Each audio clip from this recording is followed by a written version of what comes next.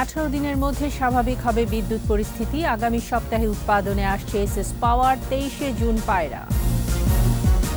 এবার নির্বাচন চ্যালেঞ্জিং হবে। দেশ বিরোধী ষড়যন্ত্র চলছে বললেন প্রধানমন্ত্রী। সজাগ থাকার আহ্বান। ছয় কংগ্রেসম্যানের চিঠির বিষয়ে জানতে চেয়েছে ঢাকা। রাষ্ট্রদূতরা কূটনৈতিক দায়িত্বের বাইরে গেলে ব্যবস্থা। বাড়ছে দাবদাহের তীব্রতা, বিপর্যস্ত জনজীবন, সহসা দেখা নেই বৃষ্টি। চার সিটিতে জমজমাট প্রচার, রাজশাহীতে মাঠ দাপাচ্ছেন লিটন, বরিশালে খোকনের পালে হাওয়া।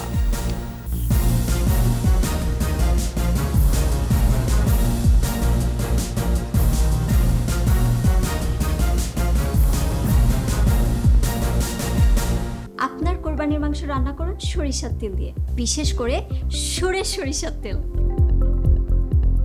খাবারের স্বাদই বদলে যাবে।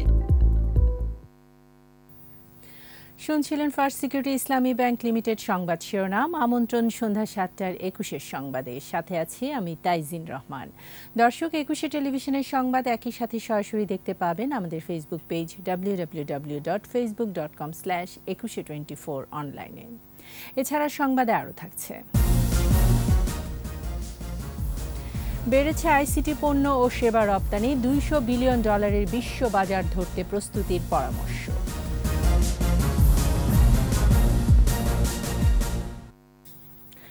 আগামী তেরোই জুন উৎপাদনে আসছে শীর্ষস্থানীয় ব্যবসায়ী প্রতিষ্ঠান এস আলম গ্রুপের মালিকানাধীন এস এস পাওয়ারের প্রথম ইউনিট।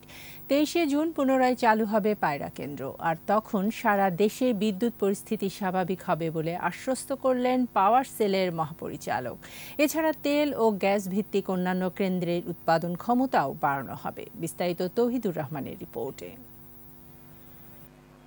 প্রচণ্ড তাপদাহে নাকাল জনজীবন। এমন সময়ে দেশ জুড়ে বেড়েছে লোডশেডিং যা জনজীবনকে দুর্বিষহ করে তুলেছে। চাহিদার চেয়ে বিদ্যুতের উৎপাদন কম হচ্ছে প্রায় তিন হাজার মেগাওয়াট। প্রতিদিন চোদ্দ হাজার মেগাওয়াটের বেশি বিদ্যুৎ প্রয়োজন, সব মিলিয়ে উৎপাদন হচ্ছে সাড়ে এগারো হাজার মেগাওয়াটের মতো। এমন পরিস্থিতির মধ্যে কয়লা সংকটে বন্ধ হয়ে গেছে বারোশো মেগাওয়াটের পায়রা তাপ বিদ্যুৎ কেন্দ্র। এর ফলে লোডশেডিংয়ের মাত্রা আরও তীব্রতর হওয়ার আশঙ্কা করা হচ্ছে। তবে পাওয়ার সেলের মহাপরিচালক জানালেন তেরো জুন দেশের শীর্ষস্থানীয় ব্যবসায়ী প্রতিষ্ঠান এসালম গ্রুপের মালিকানাধীন এসএস পাওয়ার তাপবিদ্যুৎ কেন্দ্রের একটি ইউনিট উৎপাদনে আসবে। উৎপাদন সক্ষমতা বাড়ানো হবে অন্যান্য বিদ্যুৎ কেন্দ্রেরও। তেরো তারিখ থেকে বাইশ তারিখ পরিস্থিতির উল্লেখযোগ্য উন্নতি হবে। কারণ হলো আমরা এর মধ্যে আমাদের এস আলমের বিদ্যুতের উৎপাদন আসবে, উৎপাদনে আসবে। আমরা আদানি থেকে আমরা কিছু বর্ধিত বিদ্যুৎ পাবো। আমরা আমাদের যে তরলীকৃত জ্বালানি থেকে যে যে উৎপাদন পাচ্ছি সেটা আরেকটা বাড়ানোর চেষ্টা করছি। সবকিছু মিলিয়ে তেরো তারিখ থেকে বাইশ তারিখ একটা ভালো জায়গায় আমরা যাব। সাময়িক বন্ধ হওয়া পায়রা বিদ্যুৎ কেন্দ্র তেইশে জুন পুনরায় চালু হবে বলে জানিয়েছেন পাওয়ার সেলের মহাপরিচালক। বাইশ তারিখ থেকে আমাদের ইতিমধ্যেই আমরা যদিও পঁচিশ তারিখ বলছে আমরা আশা করি যে বাইশ তারিখে চলে আসবে পায়রাটা। তাতে করে বাইশ তারিখ থেকে আমাদের আর মানে স্বাভাবিক পরিস্থিতি হবে কোনো লোডশেডিং থাকবে না বলে আমরা আশা চোদ্দ হাজার মেগাওয়াট চাহিদার বিপরীতে সোমবার বিকেল নাগাদ দেশে এগারো হাজার সাতশো বিরাশি মেগাওয়াট বিদ্যুৎ উৎপাদন হয়েছে। এগারো হাজার সাতশো বিরাশির মতো। গতকাল একই সময়ে উৎপাদন ছিল এগারো হাজার পাঁচশো সামথিং। তৌহিদুর রহমান একুশে টেলিভিশন ঢাকা।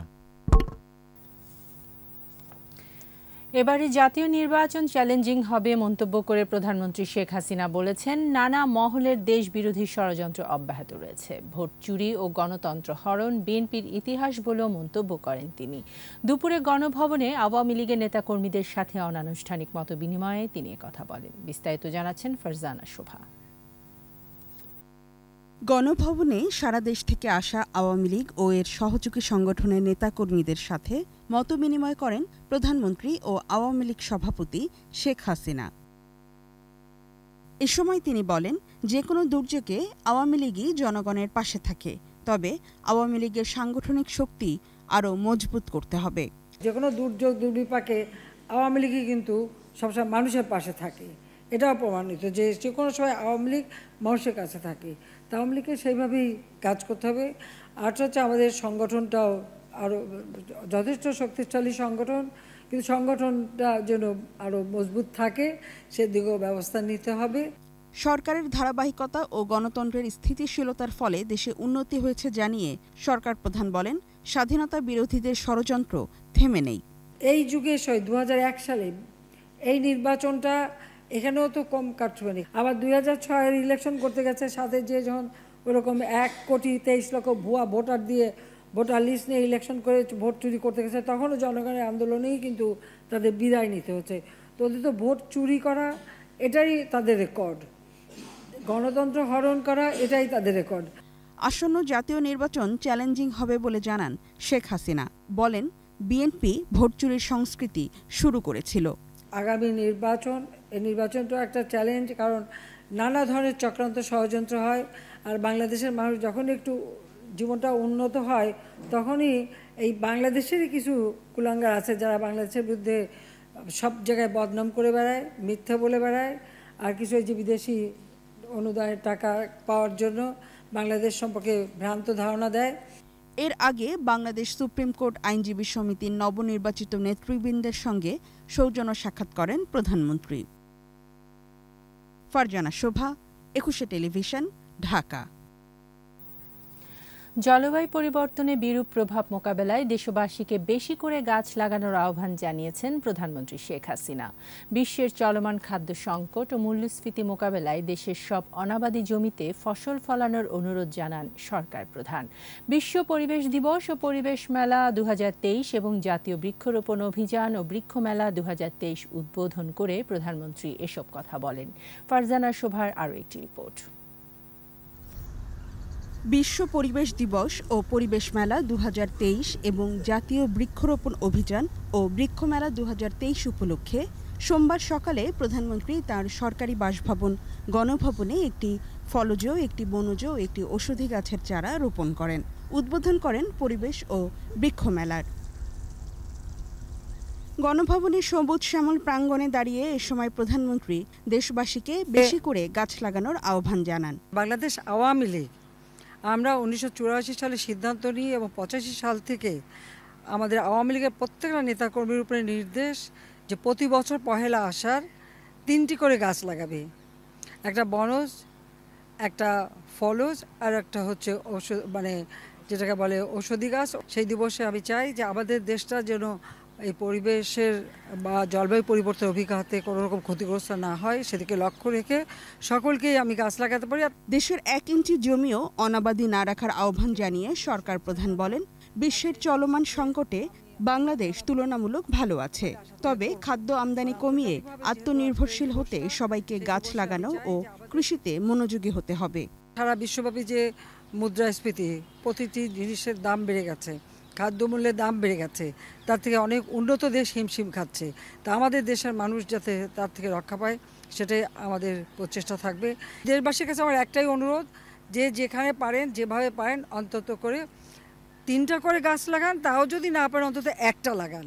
জলবায়ুর বিরূপ অভিঘাত নিরসনে দীর্ঘমেয়াদী পরিকল্পনা নিয়ে সরকার কাজ করছে বলেও জানান প্রধানমন্ত্রী শেখ হাসিনা।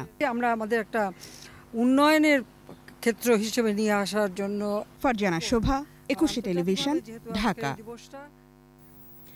বিদেশি রাষ্ট্রদূতের দায়িত্বের বাইরে গিয়ে কোনো কিছু করলে তাদের বিরুদ্ধে ব্যবস্থা নেওয়ার কথা জানিয়েছেন পররাষ্ট্র প্রতিমন্ত্রী শাহরিয়ার আলম। মার্কিন প্রেসিডেন্ট জো বাইডেনকে ছয় মার্কিন কংগ্রেসম্যানের লেখা চিঠির বিষয়ে পররাষ্ট্র মন্ত্রণালয়ে যোগাযোগ রাখছে বলেও জানান তিনি। মোহাম্মদ কবিরের রিপোর্ট জানাচ্ছেন আশরাফ শুভ। জাতীয় সংসদ নির্বাচন ঘনিয়ে আসার সঙ্গে সঙ্গে বিভিন্ন দেশের রাষ্ট্রদূত ও হাই কমিশনাররা দেশের বিভিন্ন রাজনৈতিক দলগুলোর সাথে অভ্যন্তরীণ নানা বিষয়ে কথা বলেন। অতীতের মতো এবারও দায়িত্বের বাইরে গিয়ে কথা বললে বিদেশি রাষ্ট্রদূতদের বিরুদ্ধে প্রয়োজনীয় ব্যবস্থা নেওয়ার কথা জানান পররাষ্ট্র প্রতিমন্ত্রী শাহরিয়ার আলম। একটা ফেজ গেছে আজকে থেকে মাস ছয়েক আগে যদি কেউ কোনো দেশের রাষ্ট্রদূত আবারও সেই ধরনের কোনো কর্মকাণ্ডে জড়িত হন, যেটা আমরা মনে করব যে তাদের বাউন্ডারিকে লাইনকে ক্রস করে করে ফেলছে। আমরা অফকোর্স এটা নিয়ে নেব। বিদেশে বিভিন্ন দলের লবিস্ট নিয়োগের বিষয়ে তিনি বলেন বিদেশি কারও কাছে ধর্ণা দিয়ে নয় দেশের মানুষ ও দলের উপর নির্ভর করে রাজনীতি করবে আওয়ামী লীগ। বিদেশি কারও কাছে ধর্ণা দিয়ে অথবা কারও চাপে পড়ে অথবা আমার তার সাথে সম্পর্কটা শেষ পর্যন্ত ধরে রাখতেই হবে এরকম কোনো নীতির প্রতি অগ্রসর হয়ে বাংলাদেশের মানুষকে পেছনে ফেলে দেওয়ার নীতিতে আওয়ামী লীগ বিশ্বাস করে না। আমরা ওই বিশ্বাস নিয়ে কাজ করছি। মার্কিন প্রেসিডেন্ট জো বাইডেনকে ছয় মার্কিন কংগ্রেসম্যানের চিঠি দেওয়ার বিষয়ে পররাষ্ট্র মন্ত্রণালয় যোগাযোগ রাখছে বলেও জানান শাহরিয়ার আলম। চিঠি বলতে আমরাও কালেক্ট করেছি। লাইক এনি আদার কমিউনিকেশনস এখানে অনেক এক্সাজারেশন আছে এমনকি তথ্যের বড় ধরনের ঘাটতি আছে। এই বিষয়গুলো আমরা সকলকেই আমাদের অবস্থান জানাব। ভারতের পার্লামেন্টে অখণ্ড ভারতের যে মানচিত্রের মুরাল তৈরি হয়েছে তা অনেক আগের বলেও মন্তব্য করেন পররাষ্ট্র প্রতিমন্ত্রী। এটা মুরাল। এবং এই মুরালে ডেপিক্ট করা হয়েছে জার্নি বিভিন্ন সময়। আশরাফ শুভ একুশে টেলিভিশন ঢাকা। দাবদাহে বিপর্যস্ত জনজীবন তীব্র গরমে অতিষ্ঠ সাধারণ মানুষ রংপুর দিনাজপুর রাজশাহী সহ দেশের উত্তরাঞ্চলের কয়েকটি জেলায় তীব্র তাপপ্রবাহ বয়ে যাচ্ছে। এছাড়া রাজধানী সহ সারা দেশে মৃদু থেকে মাঝারি তাপপ্রবাহ বয়ে যাচ্ছে। এই দাবদাহ আরও কয়েকদিন অব্যাহত থাকবে বলে জানিয়েছে আবহাওয়া অফিস। মানিক শিকদারের রিপোর্ট। বৃষ্টিহীন গ্রীষ্মের শেষে এসে রাজধানী সহ সারা দেশের তাপমাত্রা স্বাভাবিকের চেয়ে পাঁচ থেকে ছয় ডিগ্রি বেশি। প্রায় দুই সপ্তাহ ধরে চলমান দাবদাহে অতিষ্ঠ দেশের মানুষ। টানা দাবদাহের মাঝে বিদ্যুৎ উৎপাদন বিঘ্নিত হওয়ায় বেড়েছে লোডশেডিং। যার ফলে দুর্ভোগে পড়েছে সাধারণ মানুষ। যে এত গরম পড়ছে গরমে তো কাস্টমার তো পাওয়াই যাচ্ছে না আর রাস্তায় তো বের হচ্ছে না এখন। তো এসিতেও তো কুলাইতেছে না কারেন্ট থাকতেছে না একটু পর পর কারেন্ট চলে যেতেছে। আজ সর্বোচ্চ তাপমাত্রা রেকর্ড করা হয় দিনাজপুরে একচল্লিশ দশমিক এক ডিগ্রি সেলসিয়াস। তীব্র তাপপ্রবাহ বইছে রাজশাহী ও রংপুর বিভাগের কয়েকটি জেলায়। এছাড়া ঢাকা, খুলনা, বরিশাল, ময়মনসিংহ, সিলেট ও চট্টগ্রাম বিভাগের প্রায় সব জেলায় মৃদু থেকে মাঝারি তাপপ্রবাহ বয়ে যাচ্ছে। আবহাওয়াবিদরা বলছেন, আগামী পাঁচ থেকে ছয় দিন এই তাপপ্রবাহ অব্যাহত থাকবে। গত দুই মাসে কিন্তু অনেক বৃষ্টিপাত স্বাভাবিক থেকে কম হয়েছে। এপ্রিল মাসে ছিয়াষট্টি পার্সেন্ট এবং মে মাসে চুয়াল্লিশ পার্সেন্ট বৃষ্টিপাত কম হয়েছে।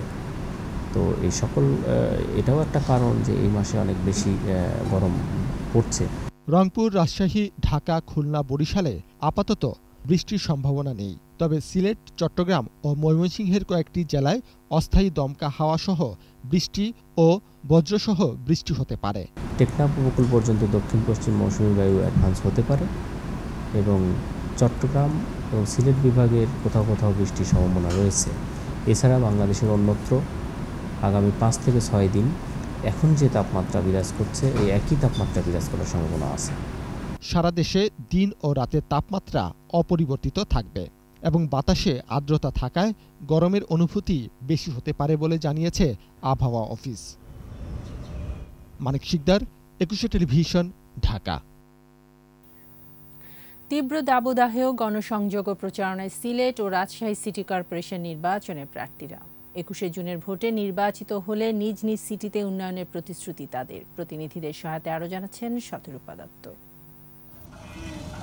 রাজশাহী নগরীর জাহাজঘাট খোজাপুর স্কুলমোড় সাতবাড়িয়া ডাঁশমারি ও মিজানের মোড়ে গণসংযোগ ও পথসভা করেন আওয়ামী লীগের মেয়র প্রার্থী A H M Khairuzzaman Liton. উন্নয়নের ধারা অব্যাহত রাখতে এবং কর্মসংস্থান সৃষ্টিতে নৌকা মার্কায় ভোট চান তিনি। কর্মের ব্যবস্থা আমি করতে চাই আপনাদের দোয়া চাই এই জন্যে কারণ জায়গা মতো না গেলে এই কর্মের ব্যবস্থা করা যাবে না। আমাদের ছেলে মেয়েরা যেন আগামী পাঁচ বছরের মধ্যেই নানা জায়গায় প্রতিষ্ঠিত হয় কাজকাম করতে পারে ব্যবসা বাণিজ্য হয় সেই জন্য আমি আপনাদের কাছে সুযোগ চাচ্ছি আরেকটিবার আমাকে সুযোগ দিবেন। সিএনপি ও ভেরিপাড়ায় গণসংযোগ করেন ইসলামী আন্দোলনের মেয়র প্রার্থী মুর্শিদ আলম। আমাদের দেওয়া আছে কর্মসংস্থানের ব্যবস্থা আমরা করব ইনশাল্লাহ করার চেষ্টা করব। এরপরে হলো আমরা দোকান ব্যবসায়িক ভাইদের জন্য ট্রেড লাইসেন্স ফি আমরা অর্ধেক করার চেষ্টা করব ইনশাআল্লাহ। রাজশাহীতে মেয়র পদে চারজন, সাধারণ কাউন্সিলর পদে একশো বারো জন ও সংরক্ষিত নারী কাউন্সিলর পদে লড়ছেন ছেচল্লিশ জন প্রার্থী। সিলেট নগরীর জিন্দাবাজারে গণসংযোগ করেন আওয়ামী লীগের মেয়র প্রার্থী আনোয়ারুজ্জামান চৌধুরী। মানুষ নৌকার পক্ষে বলে আশাবাদী তিনি। আমি কি করব? আমার দল কি করবে? আমরা ভবিষ্যতে কি করব? জনগণই আমাদের শক্তি জনগণ যাকে বুঝবে সেই তো নির্বাচিত হবে। শিবগঞ্জে প্রচারণা চালান জাতীয় পার্টির মেয়র প্রার্থী নজরুল ইসলাম বাবুল জয়ে আশাবাদী তিনি। সুষ্ঠু নির্বাচন হয় নিরপেক্ষ নির্বাচন হয় লাঙ্গল সিলেট সিটিতে ভোটের লড়াই লড়ছেন সাতজন মেয়র ও তিনশো জন কাউন্সিলর প্রার্থী। শতরূপা দত্ত একুশে টেলিভিশন। প্রচণ্ড গরমেও প্রচারণা থেমে নেই বরিশাল ও খুলনায়। বারোই জুনের সিটি কর্পোরেশন নির্বাচনে ভোট পেতে নাগরিক সুবিধা দেওয়ার প্রতিশ্রুতিতে মাঠ চষে বেড়াচ্ছেন মেয়র ও কাউন্সিলর প্রার্থীরা। প্রতিনিধিদের সহায়তায় বিস্তারিত জানাচ্ছেন রত্না জামান। বরিশাল আদালত চত্বরে গণসংযোগকালে নগরীর উন্নয়নের প্রতিশ্রুতি দেন আওয়ামী লীগের মেয়র প্রার্থী আবুল খায়ের খোকন আবদুল্লাহ। মানুষের স্বতঃস্ফূর্ততা মানুষ আমাকে খুব আন্তরিকভাবে গ্রহণ করেছে।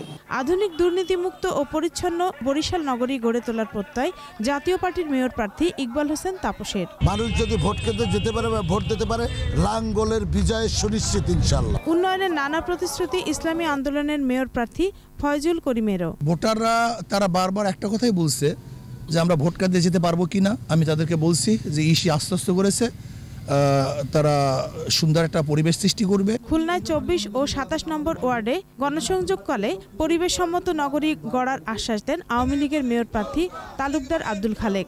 যারা শিক্ষিত আছে এর মধ্যে আমি তো তাদের বলছি যে তোমরা আমার কাছে আসো আমি তোমাদের চাকরি দেবো।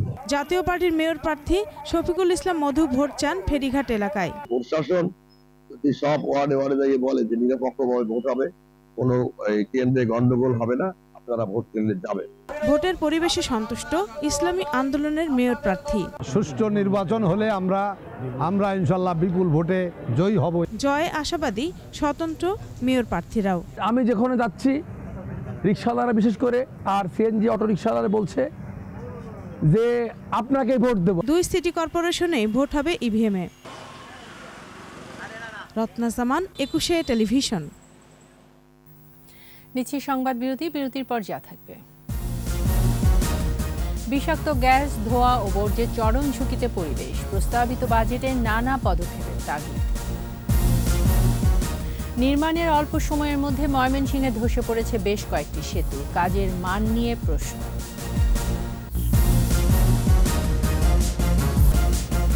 আবারও আমন্ত্রণ সন্ধ্যা সাতটার একুশে। ডক্টর মোহাম্মদ ইউনুস পাঁচ বছরে প্রায় এগারোশো কোটি টাকা কর ফাঁকি ও ইনকাম ট্যাক্স সংক্রান্ত বারো মামলা আপাতত শুনবেন না হাইকোর্ট। বিচারপতি ইকবাল কবির ও বিচারপতি এস এম মনিরুজ্জামানের দ্বৈত বেঞ্চ জানান, কনিষ্ঠ বিচারপতি এ মামলায় রাষ্ট্রপক্ষের আইনজীবী হিসেবে শুনানি করেছিলেন। কাজে বর্তমান বেঞ্চ এটি শুনতে পারবেন না। পরে নথি পাঠানো হয় প্রধান বিচারপতির কাছে। গত সাতই মে হাইকোর্টকে এনবিআরের পক্ষ থেকে জানানো হয় দু হাজার বারো থেকে সতেরো এই পাঁচ বছরে এগারোশো কোটি টাকা কর ফাঁকি দিয়েছেন ডক্টর ইউনুস। এর আগে ইউনুসে প্রতিষ্ঠিত বিভিন্ন প্রতিষ্ঠানের প্রায় সাড়ে এগারোশো কোটি টাকার আয়কর রিটার্নের মামলা চালুর জন্য হাইকোর্টে আবেদন করে রাষ্ট্রপক্ষ। ঢাকা দক্ষিণ সিটি কর্পোরেশনের মেয়র ব্যারিস্টার ফজলে নূর তাপসের বিরুদ্ধে আদালত অবমাননার মামলার শুনানির জন্য আগামী চোদ্দই আগস্ট দিন ধার্য করেছেন চেম্বার আদালত। আপিল বিভাগের চেম্বার বিচারপতি এম এনায়েতুর রহিম এই দিন ধার্য করেন। একজন চিফ জাস্টিসকেও নামিয়ে দিয়েছিলাম। মেয়র তাপসের এমন বক্তব্যকে আদালত অবমাননা উল্লেখ করে মামলা করা হয়। মামলায় মেয়র তাপসকে আদালতে তলব করার নির্দেশনা চাওয়া হয়েছে। এর আগে গত চব্বিশে মে ফজলে নূর তাপসের এই বক্তব্য আপিল বিভাগের নজরে আনেন সংবিধানের অন্যতম প্রণেতা barrister M Amirul Islam. Appeal বিভাগ কোনো সিদ্ধান্তে না আসায় আদালত অবমাননার মামলা করা হয়।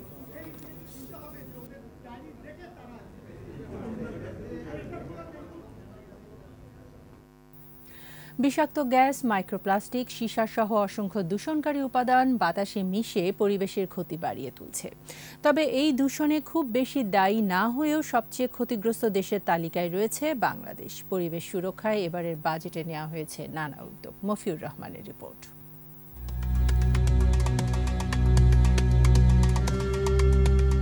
কলকারখানার বিষাক্ত ধোঁয়া ও বর্জ্য পরিবেশের জন্য চরম ঝুঁকি। বিশ্বের বায়ুমণ্ডলে প্রতি ঘনমিটারে কার্বনের পরিমাণ চারশো পিপিএম ছাড়িয়েছে কয়েক বছর আগেই। অথচ বায়ু দূষণে একশো মাইক্রোগ্রাম ধূলিকণাই যথেষ্ট। এছাড়াও বাতাসে মিশছে carbon dioxide nitrogen, methane, সীসা, কার্বন মনোডাই অক্সাইডের মতো মারাত্মক সব গ্যাস, যা মূলত নির্গত হচ্ছে শিল্পোন্নত দেশগুলোতে। তবে দেশে ইটভাটায় বছরে প্রায় বিশ লাখ টন জ্বালানি কাঠ ও বিশ লাখ টন কয়লা ব্যবহৃত হয়। এই বিপুল পরিমাণ জ্বালানি থেকে বাতাসে বিষাক্ত কার্বন মনোডাইঅক্সাইড এবং বছরে প্রায় নয় মিলিয়ন টন গ্রিনহাউস গ্যাস বায়ুমণ্ডলে যুক্ত হচ্ছে। আমাদের যে পরিমাণ সবুজ আছে, সে তার ফটোসিনথেটিক প্রক্রিয়ার মাধ্যমে অ্যাকসেপ্ট করার পরেও কিন্তু এক্সট্রা কার্বন ডাইঅক্সাইড থেকে যাচ্ছে। তো ফলে হচ্ছে কি সেটার কারণে কিন্তু পরিবেশ দিন দিন গরম হয়ে যাচ্ছে। গত এই কয়েক মাস ধরে তাপমাত্রার যেই দোদণ্ড প্রতাপ দেখছি, এতে বোঝা যাচ্ছে যে আমাদের পরিবেশ আসলে ভালো নেই। প্রস্তাবিত বাজেটে পরিবেশ রক্ষায় নানা পদক্ষেপের তাগিদ দেওয়া হয়েছে। শিল্প কারখানায় এটিপি স্থাপন, বায়ু ও শিল্প দূষণ নিয়ন্ত্রণ, কলকারখানায় তরল বর্জ্যের ক্ষেত্রে শূন্য নির্গমন নীতিসহ আরও বেশ কয়েকটি পদক্ষেপের কথা বলা হয়েছে। দূষণকারী যে সকল ইন্ডাস্ট্রির মালিক হ্যাঁ তাদেরকে আগে সচেতন করতে হবে। সে পারমিটের বাইরে যদি বেশি পরিমাণ দূষণকারী পদার্থ বাতাসে ছাড়ে সেই ক্ষেত্রে প্রতি কেজি বলি প্রতি লিটার বলি হ্যাঁ তার জন্য জরিমানের ব্যবস্থা রাখা উচিত অথবা ট্যাক্স ট্যাক্সের আওতায় আনা উচিত। কার্বন নিঃসরণ কমাতে একের বেশি গাড়ি থাকলে দিতে হবে পরিবেশ কর যা সিসি ভেদে পঁচিশ হাজার থেকে সাড়ে তিন লাখ টাকা পর্যন্ত। বিষয়টি বাংলাদেশের জন্য নতুন হলেও পরিবেশ রক্ষায় এ উদ্যোগকে স্বাগত জানান বিশেষজ্ঞরা। মফিউর রহমান, একুশে টেলিভিশন, ঢাকা।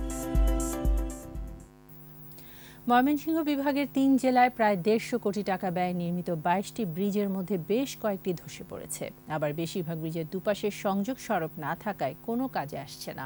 এতে চলাচলে চরম দুর্ভোগ পোহাতে হচ্ছে স্থানীয়দের। ময়মনসিংহ বিভাগীয় প্রতিনিধি আতাউর রহমান জুয়েলের রিপোর্ট জানাচ্ছেন রত্না জামান ময়মনসিংহ সদরের খাগডগরের এই ব্রিজটি নির্মাণ হয় পাঁচ বছর আগে। কাজ শেষ হওয়ার দেড় মাসের মধ্যে বৃষ্টি হেলে পড়ে। গফরগাঁওয়ের তিনটি ব্রিজ নির্মাণের দুই বছরের মাথায় ধসে পড়ে। ত্রাণ ও পুনর্বাসন অধিদপ্তরের অধীনে এই চারটি ব্রিজ নির্মাণে খরচ হয়েছিল প্রায় দুই কোটি টাকা। ব্রিজটা কাতে পড়ছে করার পরে ব্রিজটা দিয়ে আমরা চলতে পারতেছি না। সরকারে ব্রিজ করল। আঙ্গুর কোনো কাজে আসতেছে না। আর কিছুদিন পরে যখন ভাদ্র আসেন এ মাস আইব আষাঢ় মাস আইব পানি তো চারিদিকে থই থই করব। তখন তো একেবারেই অসুবিধা নাজুক অবস্থা হয়ে যাব আর কি স্থানীয় সরকার প্রকৌশল অধিদপ্তরের অধীনে শেরপুরের বৈশাবিলের খালের ওপর একুশ বছর আগে পঁচাত্তর কোটি টাকা ব্যয়ে নির্মিত হয় এই ব্রিজটি কিন্তু এখনও হয়নি সংযোগ সড়ক। ফলে ব্রিজের সাথে সাঁকো দিয়ে করতে হচ্ছে যাতায়াত। রাস্তা না থাকার কারণে কৃষকের অনেক অসুবিধা হয় আটির বার নিয়ে আসতে অসুবিধা হয়। যাতায়াতের অসুবিধা হয়। ব্রিজ নতুন থেকে পুরাতন হয়েছে কিন্তু জনগণের কোনো উপকারে আসতেছে না। এই ব্রিজ এইভাবেই পড়ে রয়েছে নেত্রকোনায় আঠারো বছর আগে বাহাত্তর কোটি টাকায় নির্মিত সতেরোটি ব্রিজের সংযোগ সড়ক না থাকায় কোনো কাজে আসছে না। সরকারের বিপুল অঙ্কের টাকায় নির্মিত এসব ব্রিজ দ্রুত চলাচলের উপযোগী দেখতে চায় স্থানীয়রা। ডাক্তারের কাছে গেছিলাম ওহান রিক্সা পাইলে তো ব্রিজ ভালো থাকলে রিক্সা দেওয়া চলে ফিলে করতে পারতাম। জেলা ত্রাণ ও পুনর্বাসন কর্মকর্তা বলছেন ব্রিজ ধসে যাওয়ার কারণ অনুসন্ধানে তদন্ত চলছে। অল্প কিছুদিনের মধ্যে এটা তদন্ত কাজ শেষ হলে পরবর্তীতে পদক্ষেপ গ্রহণ করা হবে। স্থানীয় সরকার প্রকৌশল অধিদপ্তর বলছে বরাদ্দ পেলেই ব্রিজ সচল করার উদ্যোগ নেওয়া হবে। রাস্তাটা হাওরের স্রোতে এবং ঢেউয়ের ভাঙ্গনে সেটা ভেঙে গেছে। পাশাপাশি তার দুইটা প্যারালেল রোড থাকায় ওইটার গুরুত্ব কমে গেছে। তারপরেও এলজি ড্রাইডিভুক্ত রাস্তা হওয়াতে সেটাকে আমাদের ডিপিপিতে নেওয়া হয়েছে এবং অদূর ভবিষ্যতে কাজ হবে। শুধু কথা না, দ্রুত কাজ দেখতে চায় স্থানীয় বাসিন্দারা। রত্না জামান একুশে টেলিভিশন। বৈশ্বিক অস্থিরতা সত্ত্বেও বাংলাদেশ থেকে আইসিটি পণ্য ও সেবা রপ্তানি বেড়েছে প্রায় ছত্রিশ শতাংশ। প্রায় দুশো বিলিয়ন ডলারের বিশ্ববাজার ধরার প্রস্তুতি জোরদারের পরামর্শ বিশেষজ্ঞদের। বলছেন দু হাজার ত্রিশ সালে আইসিটির বিশ্ববাজার ছাড়াবে হাজার বিলিয়ন ডলার। এর মধ্যে এশিয়া প্যাসিফিক অঞ্চল হবে শীর্ষ বাজার। আদিত্য মামুনের রিপোর্ট। তথ্য ও যোগাযোগ প্রযুক্তির বিকাশের সাথে বদলে যাচ্ছে মানুষের জীবন জীবিকা। আর্থসামাজিক খাতে আসছে ব্যাপক পরিবর্তন। তথ্য কিংবা সেবা পেতে যে কেউই দ্বারস্থ হচ্ছেন গুগল অ্যাপসের। বিমানের টিকিট, স্বাস্থ্যসেবা, খাবার, গেম বা বিনোদন, তথ্য কিংবা শিক্ষণীয় টিপস কি চাই? মুহূর্তেই এবং নির্বিঘ্নে পাওয়া যায় অ্যাপসগুলোর মাধ্যমে। সামনের দিনগুলোতে আইসিটি দেবে নেতৃত্ব। মাত্র কবছর আগেও যেখানে বিদেশি অ্যাপসগুলোর বিকল্প ছিল না, সেখানে দেশেই এখন তৈরি হচ্ছে অ্যাপস। পাশাপাশি বাড়ছে আইসিটি পণ্যের রপ্তানিও। চলতি অর্থ বছরে জুলাই থেকে ডিসেম্বর এই ছয় মাসে আইসিটি রপ্তানি বেড়েছে ছত্রিশ শতাংশ। আর দু হাজার বাইশ সালে রপ্তানি হয় প্রায় দেড় billion dollar. In app purchase হোক বা অ্যাডভার্টাইজের মাধ্যমে হোক, সেখান থেকে তারা রেভিনিউ আর্ন করছে। ওভারঅল এক্সপো দাতা হচ্ছে ওয়ান পয়েন্ট ফোর বিলিয়ন সেটা not only individual mobile application এটা আসলে সফটওয়্যার থেকে শুরু করে এভরিথিং কিন্তু কীভাবে রাতারাতি বদলে গেল বাংলাদেশের প্রযুক্তি আর কিভাবেই বা প্রযুক্তি বিশ্বের সাথে প্রতিযোগিতা করে যাচ্ছে তরুণ প্রজন্ম? পূর্ব তিমুরে পার্লামেন্টের জন্য আমরা একটা সফটওয়্যার তৈরি করেছি। আমরা একটা কম্পিটিটিভ বিডিং এর প্রসেসের মাধ্যমে এটাকে আমরা পেয়েছি।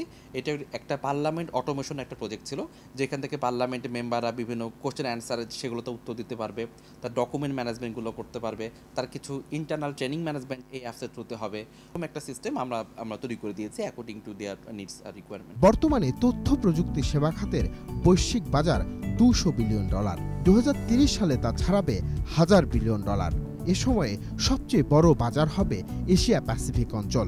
এ বাজার ধরতে হবে বাংলাদেশকে। ওই ওয়ান থাউজেন্ড বিলিয়ন ডলারের বড় বাজার সাইজ যে মার্কেট সাইজটা এটা কিন্তু আমাদের জন্য আমরা ইউটিলাইজ করতে পারি।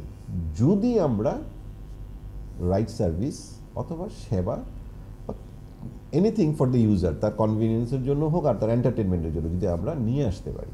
প্রস্তুতি হিসাবে এ খাতে সর্বোচ্চ মনোযোগ দেওয়ার পরামর্শ বিশেষজ্ঞদের তাগিদ ব্যাপক সংখ্যক প্রযুক্তি জ্ঞান সম্পন্ন জনশক্তি তৈরির।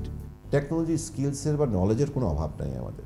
কিন্তু সেইটা অ্যাপ্লিকেশন লেভেলে নিয়ে যান অ্যাপ্লাই করার জন্য যে জায়গায় মেন্টরিংটা দরকার সেই জায়গাটাতে একটু কাজ করার আছে বলে আমার মনে হয় প্রান্তিকের জনজীবনে দেশীয় অ্যাপস প্রভাব রাখতে সক্ষম হলে দ্রুতই বদলে যাবে সেবা খাতের চিত্র। সহায়ক হবে আইসিটি পণ্য ও সেবার রপ্তানিতেও। এমনই মত বিশেষজ্ঞদের। ইন্টারনেট মানে হচ্ছে যে is like a highway Aditya Mamun Ekushey television Dhaka. নিচে সংবাদ বিরতি যখন ফিরছি তখন থাকবে। চাঁদপুরে বিদ্যুৎ কেন্দ্র বন্ধ ছয় মাস অক্টোবর নাগাদ আসবে সংস্কারের যন্ত্রপাতি। জুলাই থেকে দৈনিক দশ লাখ ব্যারেল তেল উৎপাদন কমাচ্ছে সৌদি আরব। ঘোষণার পরপরই এশিয়ার বাজারে দাম। আবারও আমন্ত্রণ সন্ধ্যা সাতটার একুশের সংবাদে কারিগরি শিক্ষার উপর গুরুত্ব দেওয়ার আহ্বান জানিয়েছেন শিক্ষামন্ত্রী ডাক্তার দীপুমণি সকালে বঙ্গবন্ধু আন্তর্জাতিক সম্মেলন কেন্দ্রে বাংলাদেশ এডুকেশন এক্সপোর উদ্বোধনী অনুষ্ঠানে মন্ত্রী আরও বলেন, বিশ্বমানের শিক্ষা ব্যবস্থায় যেতে হলে ইউজিসি ও মন্ত্রণালয়ের মধ্যে সমন্বয় থাকতে হবে। অনুষ্ঠানে বক্তারা বলেন, আন্তর্জাতিক শিক্ষা ব্যবস্থার সঙ্গে প্রতিযোগিতা করতে হলে দেশের শিক্ষা ব্যবস্থায় আমূল পরিবর্তন আনতে হবে। পাবলিক বিশ্ববিদ্যালয় ইউজিসির অনুমোদন ছাড়া এক টাকাও ব্যয় করতে পারে না। এই আইন পরিবর্তন করার আহ্বান জানান উপাচার্যরা। সবারই কি অনার্স মাস্টার্স করতে হবে? এবং এটা খুব একটা বেসিক চিন্তার জায়গা। সেটা ভাবতে হবে এবং এর জন্যে আসলে সামাজিক একটা দৃষ্টিভঙ্গির পরিবর্তন সেটা খুব প্রয়োজন। টেকনিক্যাল এডুকেশনকে আরও বেশি আমাদের জনপ্রিয় করা। চাঁদপুরে একশো পঞ্চাশ মেগাওয়াট বিদ্যুৎ উৎপাদন কেন্দ্র ছয় মাস ধরে বন্ধ রয়েছে। কর্মকর্তারা বলছেন, কেন্দ্রটি সংস্কারে অক্টোবর নাগাদ বিদেশ থেকে মালামাল আসতে পারে। আর এর উপরই নির্ভর করছে কেন্দ্রটির সচল হওয়ার সম্ভাবনা। চাঁদপুর প্রতিনিধি নিয়ামত হোসেনের তথ্যচিত্রে রত্না জামানের আরেকটি রিপোর্ট।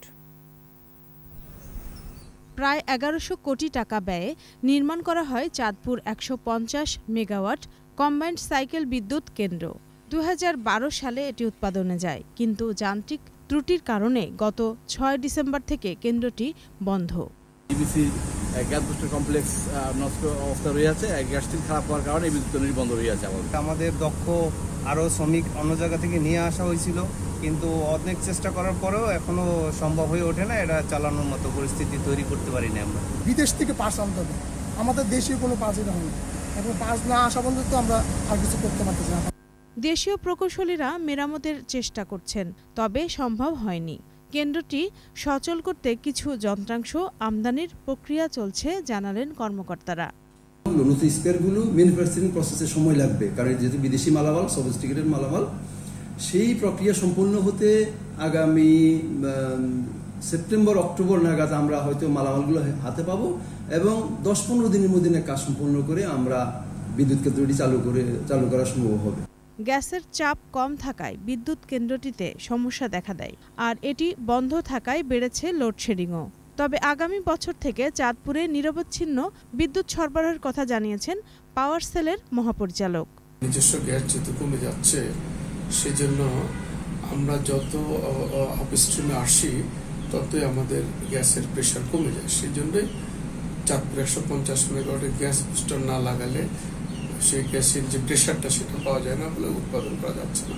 পাওয়ার গ্রিড কোম্পানির তথ্য মতে, চাঁদপুরে বিদ্যুতের চাহিদা কমপক্ষে একশো পঁচাশি মেগাওয়াট। কিন্তু এ মুহূর্তে চাহিদা অনুযায়ী বিদ্যুৎ মিলছে না। রত্না সামান, একুশে টেলিভিশন। বাংলাদেশ এডুকেশন এক্সপোতে পাঁচটি অনুষদের সতেরোটি ডিপার্টমেন্টে ভর্তির তথ্য বাতায়ন চালু করেছে হামদর্দ বিশ্ববিদ্যালয়। রাজধানীর বঙ্গবন্ধু আন্তর্জাতিক সম্মেলন কেন্দ্রের অনুষ্ঠানে ছিলেন হামদর্দ ল্যাবরেটরিজের ব্যবস্থাপনা পরিচালক ও হামদর্দ বিশ্ববিদ্যালয়ের প্রতিষ্ঠাতা ডাক্তার হাকিম মোহাম্মদ ইউসুফ হারুন ভূঁইয়া, বিশ্ববিদ্যালয়ের ভাইস চ্যান্সেলর অধ্যাপক doctor Faruquzzaman Chowdhury, treasurer professor doctor Abul Khayer Hamdard ল্যাবরেটরিজের তথ্য ও গণসংযোগ পরিচালক আমিরুল মোমিনিন মানিক।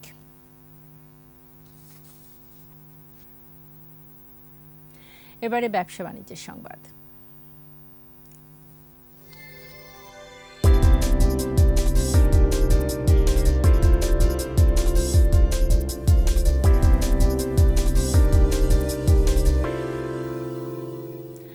American origin brand Whirlpool refrigerator, washing machine ও ওভেনের আনুষ্ঠানিক বাজারজাতকরণ শুরু করেছে দেশের শীর্ষস্থানীয় electronics company Rangs electronics limited.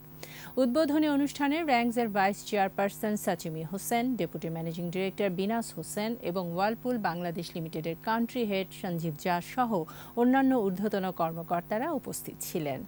একশো দশ বছরেরও বেশি অভিজ্ঞতা সম্পন্ন আমেরিকান টেকনোলজির ওয়ার্লপুল ব্র্যান্ডের ইনভার্টার ফ্রস্ট ফ্রি ও non inverter direct cool refrigerator যা মাইক্রোব্লক টেকনোলজি সমৃদ্ধ। এই প্রযুক্তিতে খাবার রাখে চোদ্দ দিন পর্যন্ত গার্ডেন ফ্রেশ, বিদ্যুৎ সাশ্রয়ী টেকনোলজি ও ভিন্ন ভিন্ন মডেল আর ডিজাইন তৈরি পণ্যের উদ্বোধন উপলক্ষে থাকছে আকর্ষণীয় অফার, যা দেশব্যাপী একশোটি র্যাঙ্কস ইলেকট্রনিক্স লিমিটেডের শোরুমে ও অনলাইন স্টোরে একযোগে পাওয়া যাবে। আর এরই সাথে শেষ করছে সন্ধ্যা সাতটার একুশের সংবাদ। যাবার আগে first security Islami bank limited সংবাদ শিরোনামগুলো জানিয়ে দিচ্ছি আরও একবার। শিগগিরই স্বাভাবিক হবে বিদ্যুৎ পরিস্থিতি। তেইশে জুন ফের উৎপাদনে আসছে পায়রা। এবার নির্বাচন চ্যালেঞ্জিং হবে। দেশ বিরোধী ষড়যন্ত্র চলছে বললেন প্রধানমন্ত্রী। সজাগ থাকার আহ্বান।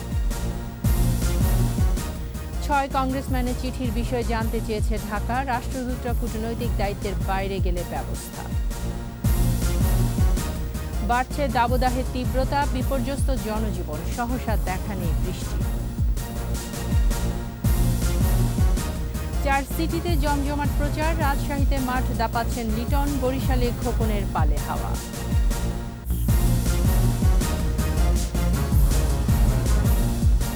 সর্বশেষ খবর জানতে ডায়াল করুন টু জিরো টু ওয়ান নম্বরে আর ভিজিট করুন একুশে ড্যাশ টিভি ডট কম এই ওয়েবসাইটে এছাড়া ফেসবুকে ভিজিট করতে পারেন Facebook dot com slash Ekushey twenty four অনলাইনে পরের সংবাদ রাত নটায় দেখার আমন্ত্রণ রইল। স্বাস্থ্যবিধি মেনে চলুন, সুস্থ